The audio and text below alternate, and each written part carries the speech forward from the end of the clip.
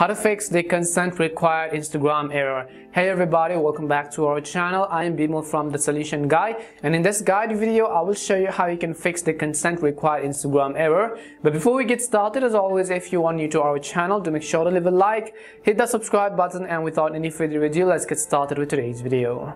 Now, generally what happens is that sometimes Instagram, whenever you try to log into your account, it will give you a simple error which says consent required. Now you have to understand why this happens in the first place.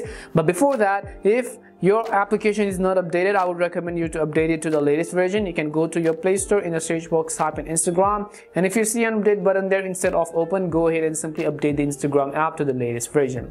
Once you've updated instagram now you want to come back and the next thing you want to make sure is to open up instagram. And let's say again we'll get back to the error that you were trying to log in and all of a sudden it simply said the consent required. Now this happens because it is your friend who's actually trying to log into your accounts. For example, if your account is logged in on another device, let's say your friend has logged into your account and now you're trying to log in back again and that generally means due to lack of verification and due to lack of two-step verification and authentication, Instagram simply says consent required and it simply means that on the other phone, a simple notification is going to pop up. So make sure that you have access to the other phone on which you are currently logged in and they also have Wi-Fi access and then notification is going to pop up there. When you try to log in you have to approve from your other device and that simply means consent required. However in most of the cases what you could do is you could go ahead and simply there could be other options such as you don't no longer have access to these. Well in that case you could try to change your password. You could try to reset your password. You could try to verify if you have turned into factor authentication.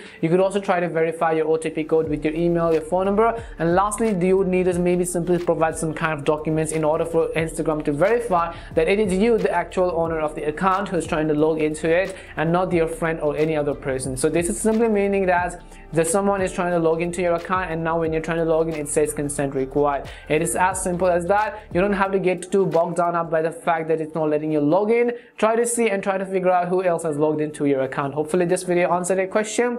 We hope the video was really helpful and if it did help you make sure to leave a like and subscribe to the channel. If you have any more questions queries or doubts simply also make sure to leave them down. Thank you very much for watching till the end and see you soon in our next video